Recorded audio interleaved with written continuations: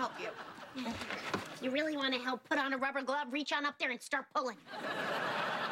I know you're joking, but I grew up on a farm. I'll do it. Uh, I just want this to be over.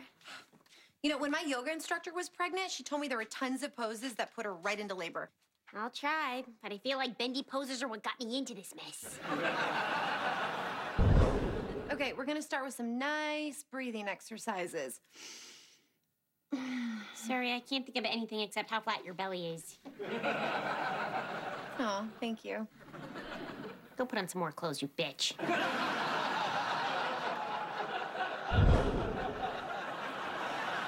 Okay, we go down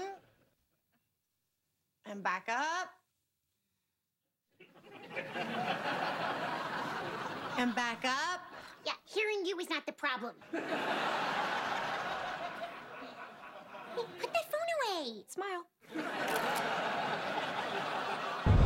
I'm telling you, there's an acupressure point right above your ankle that can induce contractions. All right, but just a warning. My feet are a little swollen. Oh, please, Bernadette. I'm sure this. Okay. What? Nothing. Your ankles look fine. And not at all like I just popped open a can of crescent rolls.